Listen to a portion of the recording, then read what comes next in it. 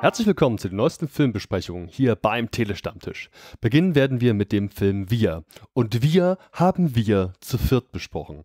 Denn bei dieser Aufnahme waren dabei der Marcel sowie der Stu, als auch der Patrick und ich. Wir hatten alle verschiedenste Möglichkeiten, teilweise sehr früh, sehr exklusiv diese Filme zu sehen. Patrick und ich, wir waren beispielsweise direkt bei Universal in den Studios hier in Frankfurt vor Ort, also in den Verwaltungsräumen viel eher. Die hatten so ein kleines Privatkino, das war eine echt interessante Erfahrung.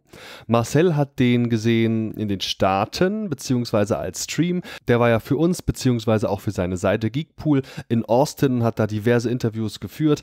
Da wirklich nochmal der Tipp, guckt euch Geekpool mal genauer an. Was er auf Facebook, Twitter und Instagram so rausballert, ist echt enorm. Da kommt jede Menge Material von ihm, teilweise hochwertigste Interviews. Guckt euch das unbedingt mal an.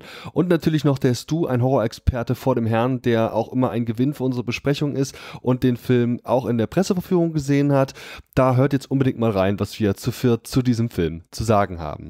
Im Anschluss folgen zwei Singlecasts. Zunächst gibt es die Besprechung von Vorhang auf für Cyrano oder Cyrano oder so, keine Ahnung. Den hat der Daniel sich angeschaut und einen Singlecast aufgenommen. Das ist wohl ein Film zu einem Theaterstück, das noch im Begriff ist geschrieben zu werden oder so. Und ich glaube, es ist eben auch die Verfilmung von einer Vorlage, die jetzt schon ein paar Mal geschehen ist. Da gibt es wohl schon diverse andere Verfilmungen. Ob diese jetzt besonders gut ist oder nicht, hört ihr am besten selbst. Und zu guter Letzt kriegt ihr noch einen Singlecast zum Film Hotel Auschwitz. Hotel Auschwitz hat sich der Patrick für uns angeschaut, hat hier auch eben einen Singlecast aufgenommen und seine Meinung eingesprochen. Jetzt auch mit neuer Technik. Da sind wir mal gespannt, wie es klingt. Euch viel Spaß bei den Filmbesprechungen. Wir freuen uns auf euer Feedback auf Facebook, Twitter, Instagram oder beim YouTube-Upload. Generell wenn ihr Bock habt, wieder bei einer Filmbesprechung hier mal mit dabei zu sein, meldet euch mal. Wir haben immer Möglichkeiten, euch in Filme zu bringen oder euch irgendwas zur Verfügung zu stellen. Wir sind inzwischen der quasi einzige deutschsprachige Audiopodcast in der Republik, der, naja, letztlich quasi alle Filmstarts, bundesweiten Filmstarts bespricht und zusätzlich auch noch jede Menge Heimkinostarts, ja, eben auch bespricht. Jetzt habe ich bespricht dreimal gesagt, da klingt es besonders professionell. Ich danke euch fürs Zuhören. Bis zum nächsten Mal. Ciao. Hallo und herzlich willkommen zur Besprechung des Horror-Blockbusters Wir. Und wir besprechen heute Wir. Woohoo! Damit bin ich bestimmt der einzige Mensch auf der ganzen großen, weiten Welt, die diese An der diese Anmoderation gemacht hat. Ja, und ähm, Wir ist ein Film, der ist ab 16 Jahren freigegeben, hat eine Laufzeit von einer Stunde 56, ist ein Horror-Thriller laut IMDb und kommt jetzt am 21. März 2019 in die deutschen Kinos. Wir sind vier Leute, die diesen Film vorab in Presseverführung sehen durften. Und ich begrüße unter anderem einen jungen Mann, der mit mir zusammen in der, glaube ich, sogar ersten Presseverführung war, die es hier in Deutschland gab. Eine Presseverführung in den Studios selbst, beziehungsweise in den, ähm, ja quasi im, im Heimkino des Verleihs. Moin, Patrick. Hi. Du hast dir kurz vorher auch noch den Vorgänger von Jordan Peele angeschaut, ne? Ja, genau, Get Out, der ja für den Oscar nominiert, äh, nee, den Oscar bekommen hat. Darauf kommen wir bestimmt gleich noch zu sprechen. Der zweite Herr in der Runde ist jemand, der den Film verhältnismäßig exklusiv gesehen hatte in den Staaten. Wenn ich es richtig verstanden habe, war er in Austin, hat dort für Geekpool eben auch Interviews geführt, hatte jetzt auch die Möglichkeit, den Film vorab zu sehen. Ähm, ja, da bin ich mal gespannt, was er zu erzählen hat. Moin Marcel. Moin. War das so ungefähr richtig? Ja, das war richtig. Hattest du die Jungs und Mädels vom Film äh, auch vor der Kamera? Hast du die getroffen? Äh, getroffen habe ich sie nicht. Also ich habe Jordan Peele vorher schon in Sundance getroffen und so ein bisschen über Us ausgefragt, also über Wir ausgefragt, aber ähm, auf dem Festival hat es dann leider nicht geklappt. Ähm, ja, das ist halt so, du musst auch so eine bestimmte Größe haben, wenn dann so Leute wie IMDb und Variety ähm, am Teppich stehen. Ja. Dann ist es wahrscheinlich, äh, kriegen eher die, die, die Zuschläge quasi für die Interviews, verstehe ich schon. Aber trotzdem, sau geil. Also äh, folgt da unbedingt mal den Sachen, die der Marcel da online macht. Da gibt es eine ganze Menge tolle Interviews, die ihr euch anschauen könnt. Und wenn alles klappt, dann wird er für uns noch, auch noch einiges in den nächsten Monaten äh, wahrnehmen. Ja, und der vierte Herr an der Runde, der musste einfach heute mit dabei sein, denn er ist total gruselig. Moinst du? Also, was soll das denn jetzt heißen? Also, also, Moment mal, also zuerst diese Beleidigung und jetzt noch, jetzt, weißt du, der eine guckt das irgendwie in Austin, Texas, zwei von euch im, im Privatkino von Universal und ich als Telestammtischer zweiter Klasse gehe die normale PV. Ich fühle mich gerade sehr, also. Zweiter Klasse auf gar keinen Fall, denn niemand ist so unterhaltsam wie du, moderiert hier so fluffig die Besprechung. Ja, hör auf, hör auf, hör auf. Das, äh, ja, nice. Und äh, auch du warst für uns, oder für dich, oder für uns, doch für uns, denn wir sind hier eine Community, ähm, ja, in der Presseverfügung von Wir. Bist du denn so ein Horror-Typi, der regelmäßig sich äh, Sachen aus dem Genre anschaut? Äh, ich mag das Horrorgenre ganz gerne. Äh, ich habe immer Probleme damit, mich jetzt festzulegen, was mein Lieblingsgenre ist. Äh, es gibt aber auch im Horrorgenre so ein paar Trends, die an mir vorbeigehen, beziehungs beziehungsweise mit denen ich nichts anfangen kann. Also gerade aktuell dieses ganze Insidious Conjuring-Universum, das ist zum Beispiel, das spricht mich halt null an. Mhm. Okay. Aber du hast es gesehen, oder? Äh, ich habe Insidious 1 und 2 gesehen und Conjuring 1 und 2 nur zur Hälfte und Annabelle 1 und 2. Ich glaube, die habe ich gesehen, ja. Das ist schon mal mehr als ich habe, denn ich muss sagen, ich bin hier vermutlich derjenige in der Runde, der den kleinsten Zugang zum Horrorgenre hat. Ist nun so, dass wir hier für den Telestammtisch verschiedenste Horrorfilme, Splatterfilme, auch Gorefilme, aber auch ganz klassische Jumpscare-Sachen, wie sie eben heutzutage aktuell sind, ja eben da einfach den kleinsten Zugang hat und vermutlich noch mit das wenigste gesehen hat. Ich bin also derjenige, der da vielleicht auch mit dem größten ja, Nichtwissen reingegangen ist hatte aber trotzdem so ein bisschen Bock drauf, denn wir wissen, dass der Film Us, der eben jetzt hier von Regisseur Jordan Peele in die Kinos kommt, ja letztlich der zweite, also ein, ein, ein, ein sein zweiter Horrorfilm ist, in dem er äh, ja eben Regie geführt hat. Jemand, zu dem man eine ganze Menge Sachen sagen kann. Unter anderem, und das hatten wir gerade schon angeschnitten, dass er ja auch Get Out gemacht hat. Ein Film, der wohl den äh, Oscar bekommen hat, beziehungsweise ich weiß gar nicht so genau, für was hat er den Oscar eigentlich bekommen? Äh, bestes Origin originales Screenplay. Ja, Mhm. bestes Originaldrehbuch. Stimmt. Damit war ja letztlich die Messlatte sehr hoch gesetzt und irgendwie wollte man dann ja schon wissen, worum es geht. Wer mag denn hier mal versuchen, die Geschichte zusammenzufassen? An der Stelle vielleicht auch, wir werden nicht zu krass spoilern. Es gibt hier die Möglichkeit zu spoilern, aber ich denke, man, wenn wir uns ein bisschen auf die Sachen reduzieren, zumindest im Storyteil, vielleicht machen wir am Ende noch einen kleinen Spoiler-Teil, aber zumindest im Storyteil reduzieren wir uns auf den Teil, der im ja, Trailer zu sehen war. Ich weiß nicht, wie sieht's denn aus? Hat jemand Bock, völlig unvorbereitet, hier mal in wenigen Worten die Geschichte zusammenzufassen? Ich ja, könnte, ich hätte Bock. Ladies first. Liebling. Äh, Okay, ähm, es geht bei John Peels neuem Film geht's um die Familie Wilson, soviel ich weiß. Ähm, die machen einen Ausflug, einen Urlaubsausflug ähm, und dabei mit Freunden, unter anderem ähm, Elizabeth, gespielt von Elizabeth Moss. Ähm, und ähm, dabei begegnen sie ähm, plötzlich an einem Abend einer Familie, die nicht so ganz freundlich gesonnen ist, in roten Overalls und ähm, mit goldenen Scheren. Und ähm, ja, da stellt sich raus, dass das ihre Doppelgänger tatsächlich sind, dass die genauso aussehen wie sie. Und ähm, dass die denen halt nicht freundlich gesonnen sind, sondern halt versuchen sie zu töten. Und ähm, ja, die Familie Wilson kämpft dann sozusagen ums Überleben, beziehungsweise will herausfinden, was alles, wie das alles möglich ist. Ja. Sehr gut. Ich denke, das ist eine ganz gute Voraussetzung, wenn man den Trailer gesehen hat. Dann weiß man quasi, man sieht genau diesen Moment, wo man quasi erstmalig auf diese Doppelgänger trifft.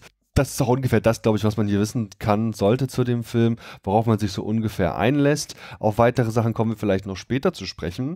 Und hier spielen auch eine Menge Leute mit, die sogar ich kannte, ja. Also Leute, jemand, der jetzt nicht so den Zugang zum Horrorgenre hat, aber mit Lupita Nyong'o, ja, die kennen ja sogar ich, die kennen wir nämlich aus Black Panther. Und Ja. soweit ich weiß, hat die gute Frau da, die, ich glaube, Shuri oder Shuri heißt die, glaube ich, gespielt. Nee, in, ja, in nicht, Black Panther. nicht Shuri, ähm, das ist die andere, die hat die Nakia verkörpert. Also das Love Ah. Interest von Ah, ähm, Also hat er doch recht. Man könnte sie vielleicht auch kennen aus 12 Years a Slave. Da hat sie auch einen Oscar für die beste weibliche Nebenrolle bekommen. Genau. war sie die, die da gepeitscht worden ist? Ganz genau. Ja. Alles klar. Hm. Und die hat dieses Jahr auch noch in einem Film mitgespielt. Also es ist jetzt ihr zweiter Horrorfilm, ähm, den ich schon in Sundance gesehen habe, der Little Monsters heißt. Hat sie die Kindergärtnerin gespielt. Da landet eine Kindergartentruppe ähm, in einer Zombie-Apokalypse auf dem Schulausflug. Also Mhm. auf dem Kindergartenausflug. Ist, ist sehr lustig, ist so im Stil von Shaun of the Dead. Sehr gut. Ja. Jos, du, wie sieht's aus? Wie hat's dir gefallen? Was war so, wie würdest du, was würdest du zu ihrer Leistung einfach sagen? Also allgemein äh, möchte ich jetzt keinen Schauspieler äh, explizit jetzt äh, tadeln oder loben, weil ich eigentlich die gesamte Leistung des gesamten Ensembles wirklich sehr, sehr gut fand. Also, aber äh, ja, sie war gut. Hm. Ähm, aber ich muss gestehen, so am, am meisten beeindruckt, also war ich von diesem Winston Duke, der ja auch bei Black Panther mitgespielt hat. Das war dieser Affenkönig. Ich hoffe, ihr wisst, wen ich Genau. meine. ja. Ähm, Oder cool. bei Persons of Interest war da ein paar Folgen dabei. Ja, ähm, der hat, also das war so die Figur, weiß auch nicht warum, aber die hat mir am meisten gefallen, weil ich mochte, das war, der hatte sowas liebenswert naiv Grobes. so ein bisschen wie du, Andi. Ja. Liebenswert, naiv, grob. Ja, damit komme ich zurecht. Aber- Solange naiv nicht mit, also gleichzeitig smart sein kann, ist alles cool. und wen man ja auch nicht unterschätzen darf und muss, weil es wirklich gut war, waren die beiden Kids, die da jetzt noch mitspielen. Die haben nämlich jeweils noch Kinder. Das, wie heißen die denn jetzt hier? Ich glaube Jason und Kara, oder? Also der Junge heißt auf jeden Fall Jason. Das Stimmt, gespielt von Evan Alex und Zora Mhm. Wilson. Ja, So heißen die genau. beiden, genau. So, Ähm, Und man muss mal generell sagen, also wir haben ja schon erzählt, dass sie Doppelgänger haben. Das heißt also, und so viel kann man sich vielleicht jetzt schon an der Stelle mal erahnen, ohne dass da was gespoilert wird. Das sind quasi zwei, zweite Figuren, die so sind wie die quasi Hauptfigur, aber zumindest optisch, aber so von den Charakteren her, ne, komplett anders. Und währenddessen ich so voll ausgebildeten Vollschauspielern, reiferen Alters oder Erwachsenen quasi das zutraue, dass sie das hinkriegen, muss man an der Stelle mal positiv erwähnen, dass die Kids das auch sehr gut hinkriegen. Gerade die, die die Zora spielt, die äh, Schauspielerin heißt Shahadi Wright Joseph. Also da muss ich mal sagen, ey, tut, echt nett, ne? Also die kann sowohl die richtig süße als auch die total abgedrehte geben. ja, das stimmt. Die haben generell alle unterschiedliche Rollen gespielt. Also da hat man echt mal im Ver äh, Vergleich, was man sonst zum Horrorgenre bekommt, mal eine ziemlich gute Leistung abgeliefert bekommen, die man so nicht gewohnt Ja. ist. Das stimmt. Mhm. Ja, damit haben wir, glaube ich, die wichtigsten durch. Es gibt noch eine Handvoll Nebencharaktere, aber soweit will ich jetzt vielleicht gar nicht darauf eingehen, damit man sich noch ein bisschen von dem Film auch überraschen lassen kann. Ja, wie sieht's denn aus? Patrick, ich weiß, dass du dir ein paar Punkte aufgeschrieben hattest, die wir unbedingt erwähnen sollten. Da können wir uns mal dran langhangeln. Unter anderem ist es ein Film, von dem viele Leute sagen, er würde mit einer ganzen Menge Anspielungen daherkommen und hätte auch schöne Referenzen. Vielleicht kannst du dir da mal das ein oder andere rausfischen. Ähm, ich habe auch danach noch mit Leuten aus der Vorführung geredet. Also Get Out wurde mit Die Frauen von äh, Stepford verglichen und dieser Film wurde mit Die Körperfresser kommen quasi gleichgesetzt. Und am Anfang spielt es in den 80er Jahren und da wird einem direkt schon mal eine Thriller-Referenz um die Ohren geballert und so ein bisschen wie in Thriller bewegen sich auch die Doppelgänger von dieser, von diesen ruckartigen Bewegungen her. Michael Jackson Thriller meinst du, Ja, oder? das genau. Musikvideo dazu. Hm? Ja, das stimmt. Es gibt auch äh, am Anfang, äh, also im, im, im, im, in der, F heißt das Prolog oder Epilog am Anfang? Ich verwechsel das immer. Ähm, Prolog. Prolog, echt? ja, danke. Ja, ja, stimmt, genau. Äh, im, Im Prolog des Films gibt es ja auch dieses, dieses Spiegelkabinett, das, das ist auch eine Referenz auf Hermann Hesses Steppenwolf, Mhm. Aha. um mal hier ein bisschen richtig klug zu scheißen. Ich werde an der Stelle mal ganz kurz, an der Stelle machen wir einen Spoilerbereich. Und zwar werden wir jetzt erstmal weil das, ich merke schon, egal, egal was wir gerade sagen, das war wahrscheinlich eh schon wieder viel zu viel. Wir machen das jetzt hier ein bisschen anders. Also ähm, jeder von uns ist jetzt eingeladen, ganz kurz in wenigen Worten ein Kurzfazit zu ziehen, ein spoilerfreies. Und dann im Anschluss machen wir einfach einen Spoilerbereich. Es macht keinen Sinn, glaube ich, das anders zu machen, sonst kastrieren wir uns hier zu sehr selbst. Ich würde mich da ganz dreist mal vordrängeln, denn ich glaube, ich habe die vielleicht negativste Meinung vom Film. Wow. Mir hat der Film grundsätzlich nämlich, es war ein, war okay, aber auf gar keinen Fall mehr als drei von fünf Punkten. Und ich bin der Meinung, dass der Film vor allem eins ist, nämlich hübsch. Und das war's dann auch schon. Der Film bietet aus meiner Sicht, ist der, wäre der ein super Kurzfilm geworden, weil er einen tollen Aufhänger hat. Aber sobald er versucht, diese kurz, diese grobe Grundhandlung mit weiteren Facetten zu erweitern, da, da schlägt er völlig fehl.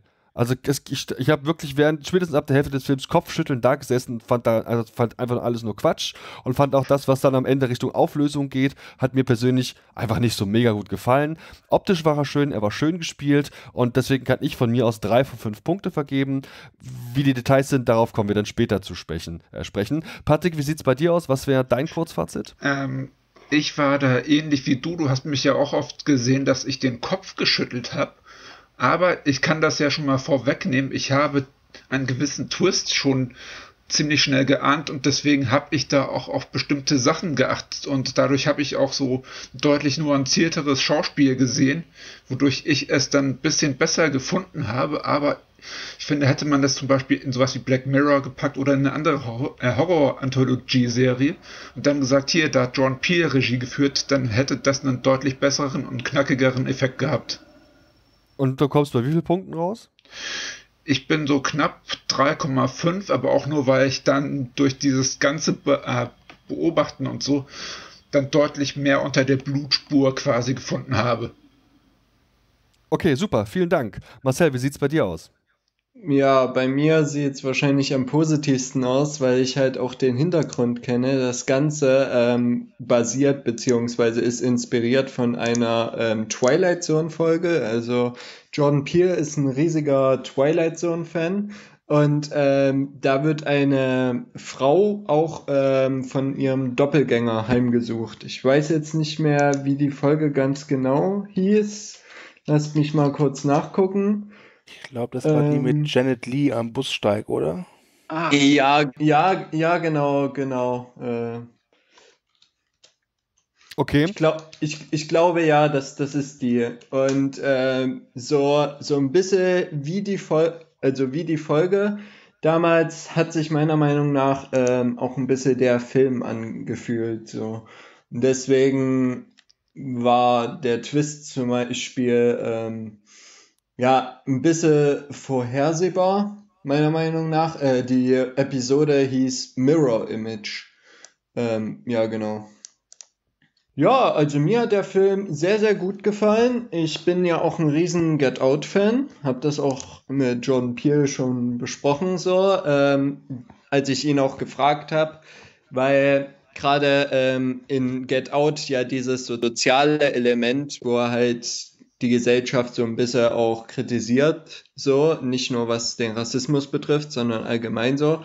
Das Zusammenleben ein bisschen habe ihn da schon anfangs, als ich den Film nicht gesehen habe, ähm, ausgefragt, ähm, ob es da wieder auch in diesem Film so ein Element gibt. Ähm, Rassismus ist jetzt diesmal nicht so stark ausgeprägt, aber es gab zum Beispiel einen Satz, ich weiß nicht, ob ihr euch erinnern könnt, wir sind Amerikaner. Amerikaner. Genau, ähm, und da hat man schon gemerkt, so dass die Sozialkritik auch in diesem Film wieder vorhanden ist, obwohl meiner Meinung nach nicht vordergründig. Das ist mehr ähm, tatsächlich ein Genrefilm als Get Out.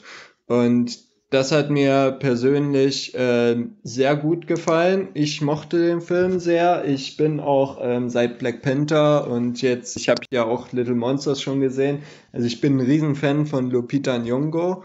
Ähm, Winston Duke und allgemein alle Schauspieler ähm, von der Bank weg fand ich super.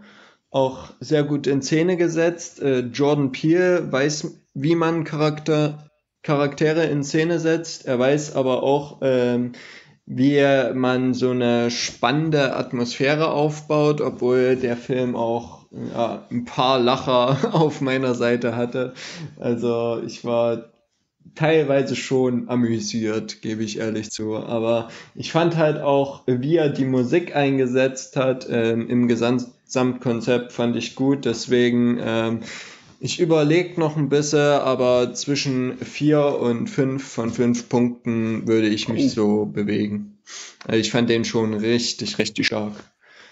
Und das, obwohl ich in letzter Zeit gerade auf Sundance und jetzt auch wieder auf South by Southwest sehr viele Horrorfilme gesehen habe und sehr, sehr viel Durchschnittliches. ähm, die gerade halt auch sehr auf Jumpscares setzen, was ich halt nicht verstehen kann, weil Jumpscares absolut ähm, berechenbar finde und ja. Und außerdem da auch noch ein Film ist, ein Horrorfilm, den ich in letzter Zeit gesehen habe, den Stu auch gesehen hat, den wir hier auch noch besprechen werden, The Hole in the Ground. Ja. Alles klar. Dann vielen, vielen Dank schon mal für dein Fazit. Ähm, Stu, ja, wie sieht's bei dir aus? Was ist dein spoilerfreies Kurzfazit? Ja, ich versuche es kurz zu halten. Ähm, Social, ähm, Social Thriller, so hat Jordan Peele den Film bezeichnet, als er ihn angekündigt hat und ähm, ich fand, das war er auch. Äh, vornweg, er ist super bebildert, hat einen super starken Score, tolle Schauspieler. Äh, wenn Jordan Peele Horror inszeniert, dann, er, er kann das, ja. Er, er, ich finde es auch immer toll, wie mühelos er zwischen Horror und Humor switchen kann. Ich habe bei wir ein paar Mal wirklich lautstark lachen müssen. Ähm, ich weiß noch, ich kam aus der Presseführung raus und war so ein bisschen ratlos tatsächlich. Also ich, ich, weiß noch, nach Get Out war mir total klar, was dieser Film wollte, was die Aussage des Filmes war. Und bei Wir war es nicht so. Ich muss aber gestehen, dass ich seitdem viel über den Film nachgedacht habe, was immer, was ich immer gut finde. Und ähm, ich finde, Wir ist genau wie Get Out ein Film, äh, da darf man nicht auf Logik schauen. Da muss man auf die Bedeutung schauen dahinter. Und äh, ich finde bei Wir, dass das vielleicht größte Problem ist, dass Jordan Peele seinem Zuschauer nicht so viel vertraut und vielleicht sogar ein bisschen zu viel erklärt. Es gibt also, es gibt im Film so zwei, drei Twists und einer der ersten Twists ich kann verstehen, warum er ihn gemacht, weil ich glaube, der, man musste auch wissen, äh, ähm, also die Erklärung war notwendig, aber dann geht er immer tiefer rein, aber findet dann keine, finde ich, befriedigende Endantwort. Ja, äh, trotz allem fand ich, war das ein saustarker Film. Ähm, das war halt Horror, wie ich ihn mag, der eben nicht so konsequent auf nur Jumpscares inszeniert ist, sondern einfach auf Atmosphäre. Und das hatte der Film. Ähm, ich ich, ich muss immer noch, also ich, ich, ich neige mein Haupt vor Jordan Peele, dass er es wieder geschafft hat, nach Get Out wieder so einen Film rauszuzaubern, der mich halt echt grübeln lässt. Ja, und deswegen, also ich bin ehrlich, als ich aus der PV rauskam, hätte ich gesagt dreieinhalb Punkte vielleicht. Aber jetzt sind es locker vier. Und ich glaube, dass tatsächlich Wir ist auch so ein Film, der von Mal zu Mal besser wird. Ja, da stimme ich zu.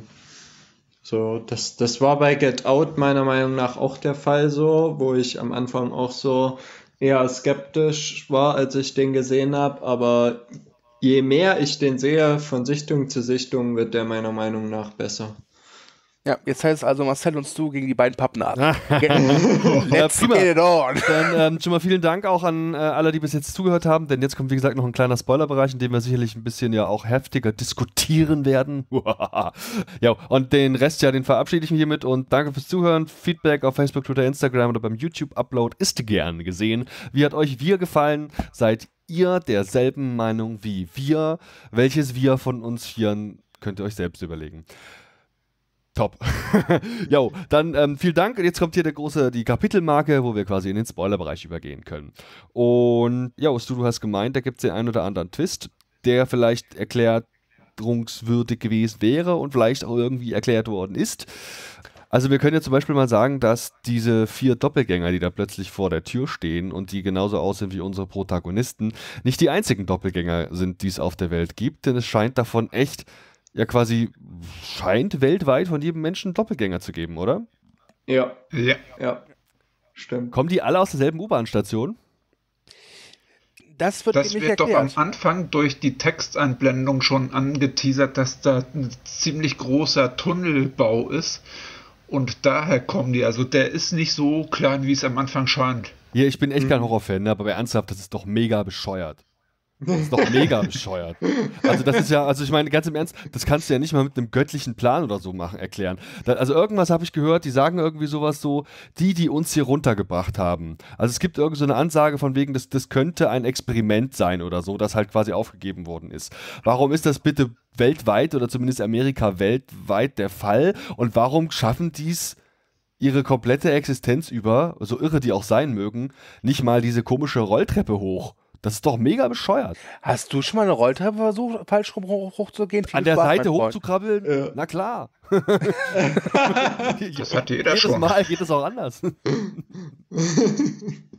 Ja, aber das, ich, ich sag, also das meinte ich halt eben, das ist ein Film, da darf man nicht mit Logik kommen. Ja. Äh, da, da muss man muss man die anderen äh, Aspekte beurteilen äh, oder draufschauen, weil das ist ein Film, die kannst du logisch total einfach zerlegen. Ja. Ähm, und ich muss sagen, also ich bin jetzt keiner, der im Film Logik, Logikfehler vorwirft, aber ich erkenne, wenn ein Film mich nicht bekommt, dann achte ich auf Logik. Und bei Via habe ich das tatsächlich erst so beim Nachdenken nach dem Film wirklich registriert.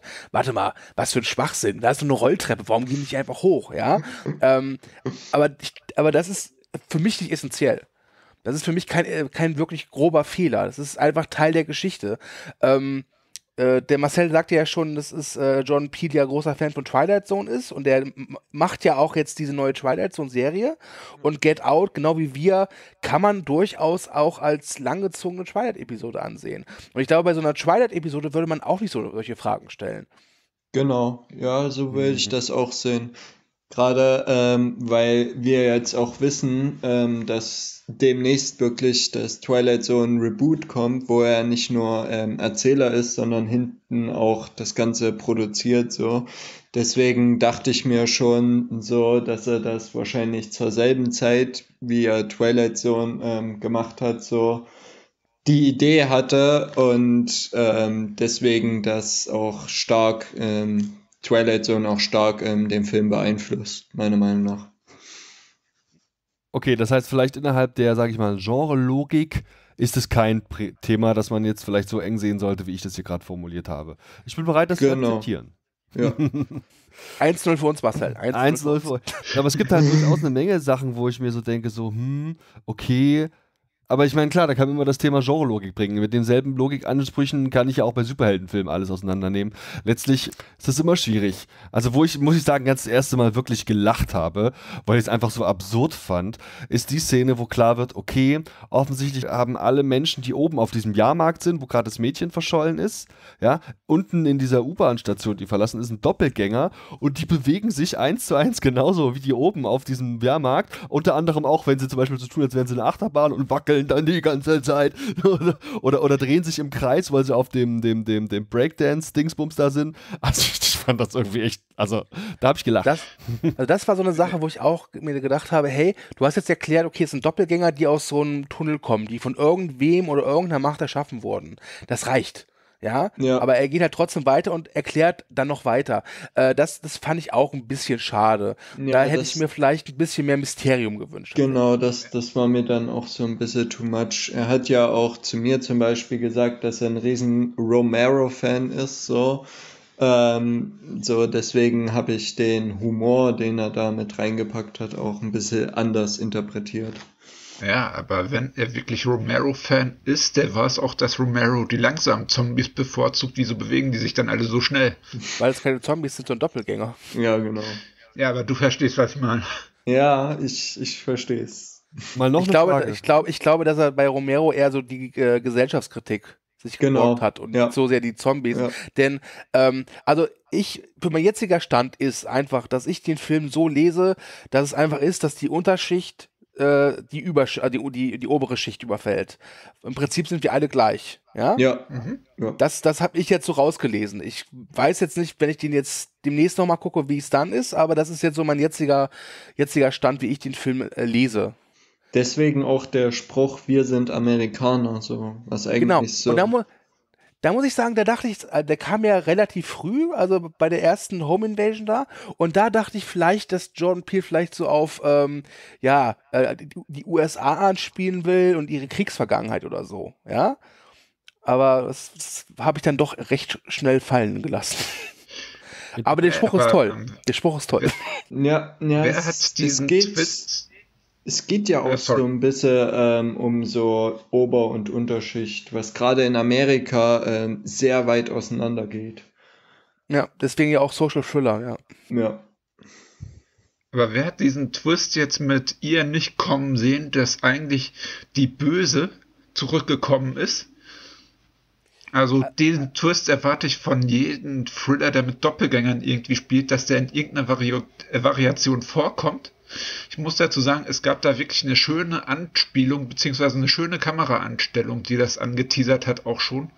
Also da fängt sie an, ihren Mann zu erklären. Und als sie das erzählt, dass äh, scrollt die Kamera quasi auf die Fensterscheibe und ihre Spiegelung erzählt das dann schon.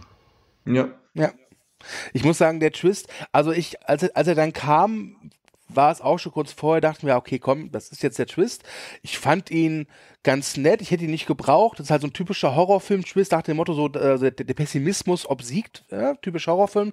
Also äh, George Romero hätte da auch seine Freude dran gehabt. Ich muss gestehen, mich hat dieser Twist erinnert an diese eine Folge der Simpsons, diese Halloween-Folge, wo rauskommt, dass nicht Bacht der mhm. gute Zwilling ja, ist, sondern... Genau. Ja, ja, ja. ja ich, ich weiß genau, welche Folge du meinst. Ja. ja. Und bei den Kaninchen, bei den Weißen, dann habe ich nämlich auch noch so ein bisschen an Alice im Wunderland, also folge den weißen Kaninchen und dann in diese Spiegelwelt. Da habe ich mich dann auch noch so ein bisschen erinnert gefühlt. Ja, ja. Was, glaube ich, sehr klar wird bei dem Film, ist ja, dass, ähm, das habe ich auch bei Kollegen gehört, bei ähm, ja, Kollegen auf YouTube zum Beispiel, die meinten, dass der Film tatsächlich ganz viele Punkte bietet, wo er einfach Interpretationsraum gibt. Das ist tatsächlich so. Ich denke, es gibt eine ganze Menge Themen von auch wirklich zum Beispiel religiösen Themen, die vielleicht irgendwie mit drin stecken. Sozialkritik ist auf jeden Fall ein Thema. Rassismus nicht so, das muss ich auch sagen. Ist mal ganz interessant, dass wir jetzt mal einen Film haben mit letztlich ja äh, schwarzen Hauptfiguren, die sich nicht um ein rassistisches Thema drehen. Das fand ich positiv erwähnenswert an der Stelle mal. Aber ähm, es gibt eine Sache, wo ich euch einfach mal fragen will, wie ihr das interpretiert, weil ich es einfach nicht verstanden habe. Und zwar ist es generell die Stilistik mit diesen Scheren, diesen diesem Handschuh und ja irgendwie auch diesen roten Overalls. Also ich glaube, ich habe es einfach nicht verstanden. Für mich als Laie wirkt es einfach so, als wäre das jetzt hier eine stilistische, optische Entscheidung gewesen, die da reinzustecken, um das Ganze dann noch besonders traurig oder gruselig oder was auch immer zu machen. Aber dass sie sich dann vorne hinstellt und mit der Schere in diesem Klassenraum irgendwie so Papiermännchen schneidet und auseinanderreißt und so oh, bla bla bla. Also für mich war das sehr arzi-fazi. Mich hat es einfach nicht erwischt. Aber ich bin wie gesagt auch noch, also noch kein großer Horror-Genre-Fan. Nee, Was für Interpretationsspielräume seht ihr da? Also ich glaube, die Schere ist äh, damit zu erklären, wenn man sich das Schere so anguckt, das sieht halt also mit ein bisschen Fantasie aus wie zwei Köpfe, die so hm. zu einer, äh, zu, zu zwei äh, Klingen dann zusammenführen. Also so habe ich es mir erklärt. Ja. Und der rote Overall ist einfach, ähm, naja, sie greifen ja zusammen an, also schon als Armee. Und ich glaube auch, diese Farbe Rot symbolisiert auch immer so ein bisschen halt ähm, äh, immer den Kampf gegen halt die Obrigkeit. Ja. Naja, vor allem, weil viele Unterschichtarbeiter in Amerika diese roten Overalls anhaben, siehe zum Beispiel Misfits, da haben die das quasi auch, damit man die erkennt. Ja, genau. Das stimmt. Aber Misfits hm. ist doch, glaube ich, Großbritannien, oder? Ja. Ja. Aber diese roten Overalls sind ja generell da auch so ein Erkennungszeichen. Genau. Genau, so habe ich das auch interpretiert, dass das so die Armbewegung, so die Armee, kann man so sagen, der Armbewegung ist so. Ja. Man sieht ja dann auch diese Weißen, also es wird viel mit Spiegelung gearbeitet und die Weißen, also diese weiße freundliche Familie, die sind quasi so das Gegenstück zu unserer schwarzen Familie. Also die Mutter ist da auch dauernd am Trinken und der Vater ist auch lockerer drauf. Die sind gar nicht so, äh, wie heißt's, ja. gar nicht mal so geschädigt wie unsere schwarze Familie, die anscheinend deutlich ja. mehr History hat und auch da ein Stück weit mehr Päckchen zu tragen hat. Ich aber sag nur NWA. Ja, ich, ich, ich, ich, sag aber nur Wodka Clock. So von ja, ja, das meinte ich ja, dass die auch dann schon anfängt schnell zu trinken da ja. am Strand. Jo, Jungs, alles klar. Jetzt gehen wir noch einmal Reihe rum. Und zwar darf jeder, wenn er noch Punkte hat, ist kein Zwang. Ne? Also von meiner Seite aus ist zu dem Film alles gesagt. Ähm, auch im Fazit. Ich kann da jetzt nicht mehr viel Schlaues beitragen. Hab meine, meine Hauptkritik ist die mit diesem Kurzfilm, für den der Film auch echt super funktioniert hätte. Es wäre meine, wahrscheinlich eine ganz tolle Folge gewesen von der Twilight Zone. Aber zu dem ganzen Film hat es aus meiner Perspektive halt eben nicht gereicht. Ihr dürft gerne noch mal Reihe rum. Wenn ihr noch Punkte habt, die ihr ansprechen oder besprechen wollt, Feuer frei. Du, fang mal bei dir an. Hängt dir noch irgendwas äh, auf der Zunge? Ja, man sagt ja immer, das zweite Album ist schwer, wenn das erste ein Top-Hit war. So ist es jetzt auch bei Wir. Ich finde, Wir erreicht nicht ganz die Stärke eines Get Out, aber äh, für mich trotzdem ein sehr sehenswerter Horrorfilm, wenn man sich halt eben darauf einlassen kann oder mag oder will. Ähm, Jordan Peele beweist immer wieder, dass er echt ein richtig guter Drehbuchautor und ein richtig guter, guter Regisseur ist. Ähm, Freue mich auf jeden Fall auf seine Twilight-Serie und auch auf seine nächsten Filme und äh, würde mich auch mal freuen, wenn er jetzt nach Horror mal was anderes macht. Action, Thriller, Comedy kann er ja sowieso, das, das sollte klar sein. Ähm, aber ich bleibe bei meiner Wertung von vier Punkten und äh, ja, reite jetzt gleich glücklich mit Marcel in den Son Sonnenuntergang, weil wir beide euch besiegt haben. Ha! Ja, alles klar. Sehr gut. Ähm, Marcel, wie sieht es bei dir aus? Magst du noch was Ja, gro im Großen und Ganzen würde ich dir zustimmen. Ähm, ich würde tatsächlich gut finden, wenn er so in den Science-Fiction-Mystery-Bereich geht, also noch mehr Mystery als jetzt in Us so, weil Us meiner Meinung nach schon mehr Horror ist als Mystery. Ähm, ich fand die Thriller-Elemente sehr gut gesetzt. Ich fand die Mischung mit der Musik sehr gut und sehr gelungen. Ähm, und ich muss auch sagen, die Kameraarbeit, allgemein das Szenenbild fand ich großartig. Also auch hätte ich das so nicht erwartet. Ich muss sagen, ich habe mich riesig auf den Film gefreut. Der war einer, der war der Most Wanted für mich des Jahres. Ähm, und er hat sein, er hat den Erwartungen auch standgehalten, was man nicht von jedem Film behaupten kann, so, auf den man sich freut. Und ich bin schon gespannt, was Jordan Peele als nächstes als Projekt macht. Nicht als Produzent, sondern wirklich auch als Drehbuchautor und Regisseur. Und ich hoffe, dass da auch in nächster Zeit wieder was kommt. Super, vielen Dank. Ja, und Patrick, du hast jetzt die Gelegenheit, hier die letzten Worte zu verfassen. Okay. Feuer frei. Also, wir haben ja fast synchron teilweise den Kopf geschüttelt, weil uns schon ein paar Sachen dann irgendwie aufgestoßen sind oder weil wir das unfreiwillig komisch fanden. Aber ich denke, hätte er zu sehr von Get Out kopiert, dann hätte man ihm das auch vorgeworfen. Ein bisschen wollte er sich da auch dann ein bisschen differenzieren und trotzdem hat er dem Ganzen so seine eigene Handschrift aufgesetzt.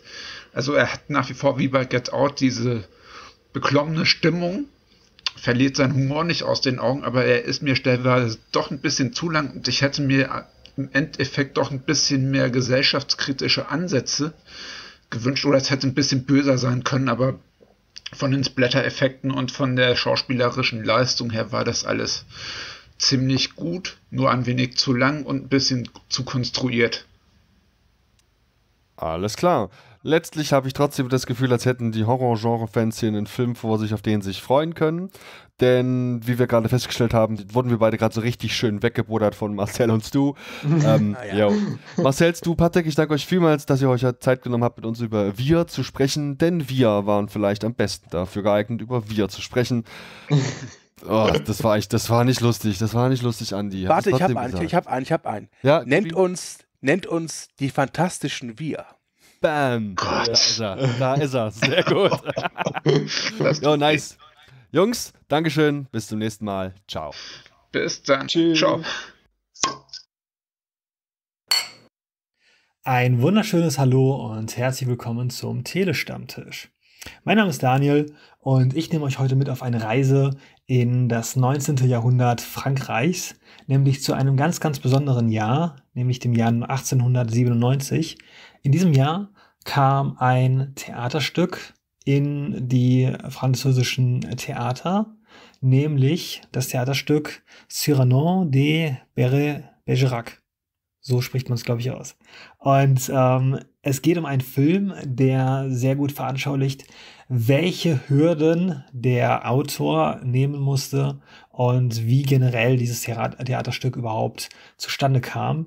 Und zwar geht es um den Film und die 2018er Interpretation von Vorhang auf für Cyrano. Der Film hat eine Lauflänge von 1 Stunde 52 Minuten und startet am 21.03.2019 in den deutschen Kinos. Wir haben den Regisseur Alexis Michalik und den kennt man zum Beispiel aus Filmen wie Grounded oder auch Friday Night. Ja. Dazu kommt noch, dass ähm, wir auch tolle Schauspieler haben, wie zum Beispiel Thomas äh, Solivier. Den kennt man zum Beispiel aus dem Ziemlich Beste Freunde. Wir haben aber auch einen Oliver äh, Gourmet und wir haben auch eine Lucie äh, Bujana. ich glaube, mein Französisch ist nicht das Beste, aber ich denke mal, ähm, jeder, der äh, Fan von den Schauspielern ist, weiß, wer gemeint ist. So, ich habe gesagt, es ist eine Interpretation von 2018 aus dem Grund, denn diese Geschichte ist schon oft interpretiert worden und oft gezeigt worden. Wir haben da fünf, sechs verschiedene Verfilmungen, ähm, angefangen mit der ersten Verfilmung, die schon 19, also wirklich im Jahr 1900 äh, gedreht wurde. Ja, und äh, dementsprechend gibt es jetzt da diese neue Herangehensweise mit aktueller Technik und äh, ganz, ganz tollen Kostümen. Ja, und im Groben ist eigentlich auch schon alles damit gesagt, wenn ich davon erzähle, dass es darum geht, dass der junge Edmond versucht, ein Stück auf den Markt zu bringen und ein Stück zu schreiben über eine, ja, nicht so ganz erfüllte Liebesgeschichte. Es geht halt im Grunde da, da, darum, dass eine Begierde zwischen zwei Menschen da ist. Sie schreiben sich Briefe, aber es ist keine richtige erfüllte Liebe. Und dieser Weg dahin, der gezeigt wird, ähm, den er nehmen muss und auch die Inspiration, die er dann immer so zum, von, von Mal zu Mal bekommt, es wird quasi schon geprobt und es gibt auch schon ähm, die Rollenverteilung, während aber noch nicht mal alle Akte zu Ende geschrieben worden sind. Und innerhalb dessen äh, beginnt er sogar eine Liebesbriefbeziehung mit einer Dame, einfach nur, um auch Inspiration zu holen und weil er halt einfach so in dieser Rolle drin ist. Also, dass halt sogar seine Frau eifersüchtig wird und denkt, er würde sie betrügen. Dabei tut er es gar nicht. Es ist einfach nur für ihn eine Rolle, in die er schlüpft, um halt diese Inspirationsquelle zu holen. Das ist halt einfach sehr, sehr schön. Also der Film an sich ähm, hat mir sehr gut gefallen. Ich habe mich sehr wohl gefühlt in dem Film. Die Schauspieler sind alle sehr adäquat dargestellt. Auch die Art und Weise, wie sie reden, wirkt sehr authentisch. Es macht sehr viel Spaß, den zu gucken. Es ist eine, eine starke schauspielerische Leistung, gerade auch von ähm, Edmond, der da von dem ähm, Thomas Solivier gespielt wird. Und das hat mir einfach sehr, sehr gut gefallen. Ich finde auch gerade dieses äh, linguistische und auch gerade diese Sprache, die da verwendet wird, die hat sehr, sehr schöne Formulierungen. Ich habe zum Beispiel eine Formulierung, die ich auch äh, behalten habe, die mir einfach sehr gut gefallen hat, ist, wo er dann zu seiner Liebesbriefbeziehung äh, schreibt, äh, würde ich diesen Brief mit Küssen schreiben, würden sie ihn mit ihren Lippen lesen. Und das fand ich halt einfach schön. So, das hat mir einfach sehr gut gefallen, weil es doch sehr, sehr anspruchsvoll ist, rein von dem, wie es auditiv klingt.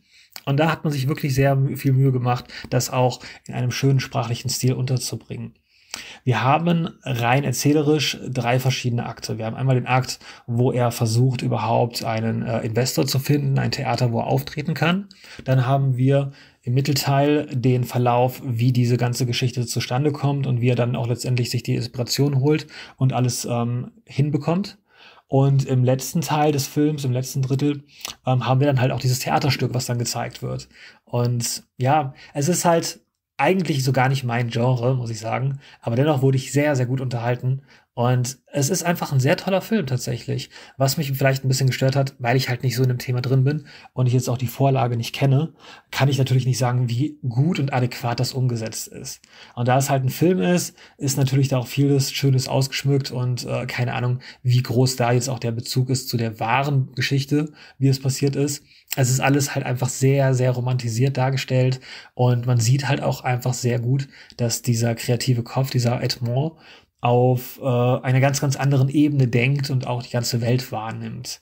Er kategorisiert gar nicht so ein in, in gut und schlecht oder in ähm, Gefühle von, ich, ich habe das Bedürfnis und ich will es stillen, sondern für ihn ist dieser künstlerische Aspekt und dieser, dieser ähm, ja, ästhetische Aspekt darin eine unerfüllte Liebe zu haben, diese Begierde, dass das eigentlich das ist, was man liebt, anstatt dann, dass diese Begierde gestillt wird, weil was bleibt, wenn diese Begierde dann einfach nicht mehr da ist. Und das fand ich halt einfach schön, dass es da auch mal so einen gewissen anderen Ansatz gibt, diese ganze Geschichte von wegen, ich möchte eine Frau haben und wenn ich sie habe, dann ist alles gut, dass das einfach mal so ein bisschen anders beleuchtet wird. Deswegen kann man auch sagen, dass der Film nicht nur eine Komödie ist, sondern auch eine Tragödie. Und das irgendwie auch gleichermaßen, denn es ist ja wie gesagt keine erfüllte Geschichte, es ist kein Happy End dabei. Aber ich habe auf jeden Fall auch öfter mal schmunzeln müssen. Und ähm, ja, gerade auch als, als äh, sprachlich ähm, ja, interessierter Mensch hat es mir sehr gut gefallen, welche Dialoge dort fallen. Und das hat mich auch so abgeholt, dass ich auch komplett in dem Film irgendwie sehr, sehr schnell drin war. Am Anfang hat es mich ein bisschen hat es mir ein bisschen Schwierigkeiten gemacht, mich da reinzufinden, weil es ja als, alles sehr, sehr altertümlich aussieht und die Kostüme und so. Es ist halt einfach, wie gesagt, nicht so mein Ding. Aber dennoch hat mich der Film sehr, sehr gut abgeholt und ich hatte sehr, sehr viel Spaß dabei. Ja, und deswegen würde ich jetzt auch einfach mal kurz schon zum Fazit kommen, denn ähm, alles, was jetzt halt soweit in dem Film passiert, möchte ich da jetzt auch nicht vorwegnehmen. Ähm, wir haben halt grob diese Handlung, um was es geht, und die wird halt dann nochmal ausführlicher beleuchtet. Und der Film geht halt auch mit seinen fast zwei Stunden schon eine ganze Weile. Da nimmt man sich auf jeden Fall genügend Zeit, um alle Bereiche dann auch gut und adäquat abzuhandeln. Von daher würde ich auf jeden Fall sagen, für mich hat der Film eine sehr, sehr gute vier von fünf Punkten verdient. Einfach aus dem Grund, weil mich, obwohl es nicht mein Genre ist, es trotzdem mich abgeholt hat. Ähm, die schauspielerische Leistung fand ich sehr, sehr schön. Ich fand es sehr authentisch. Und äh, gerade auch dieser Edmond, der da ja da sich sehr herausstellt, hat mir wirklich sehr, sehr gut gefallen. Ich freue mich sehr drauf, ähm, von dem Regisseur auch mehr zu sehen oder auch von dem Schauspieler. Und ähm, ja, als Fazit kann ich halt sagen, es ist ein schöner Film, wenn jemand geschichtlich oder auch künstlerisch interessiert ist, wird er sich den Film auf jeden Fall sowieso anschauen. Jemand, der das Theaterstück vielleicht schon in der Schule im Deutschleistungskurs oder so behandelt hat, ähm, der wird auf jeden Fall auf seine Kosten kommen. Denn äh, so spannend, wie es jetzt ist, kann ich mir nicht vorstellen, dass es das schon mal in der Vergangenheit gegeben hat. Es ist eine sehr, sehr schöne Adaption von dem, was früher passiert ist. Und äh, es hat auch einen sehr, sehr großen unterhalterischen Faktor. Und das möchte ich einfach mal bei einem Film, der auf geschichtlichen Begebenheiten basiert, doch herausstellen. Denn oftmals ist sowas sehr, sehr trocken. Und wenn man jetzt nur darüber liest, kommt bei weitem nicht das entgegen und bei weitem nicht der Spaß entgegen, den man dann auch hat, wenn man den Film sich dann zu Gemüte zieht.